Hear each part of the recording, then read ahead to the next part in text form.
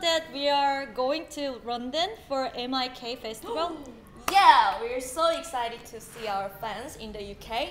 It's the first and largest outdoor K-pop music festival in Europe, and it will be really fun.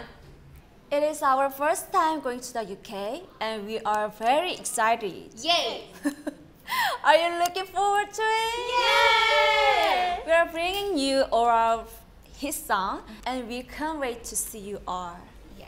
So just wait a bit more and let's make some unforgettable memories on 30th of July in Southwark Park, London.